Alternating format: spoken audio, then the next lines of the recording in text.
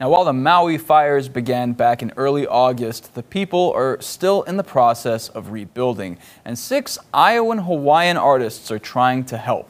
They organized a benefit show in Des Moines earlier today to raise funds for a nonprofit helping the people affected by the fires. The show is called Malama Maui, which translates to Take Care of Maui. It began at 3 p.m. at XBK Live, which is a music venue on 24th Street and University Avenue. The artists wanted to bring the Hawaiian experience to Iowa by showcasing their culture. When it started, it was really devastating. It was a lot of grief and a lot of grieving. Uh, I couldn't believe it. I thought it was like a really bad dream I was having. And seeing it now and all the devastation and like the death tolls going up, all the missing people, it's still a lot of grief and it's going to take a lot of people to rebuild this.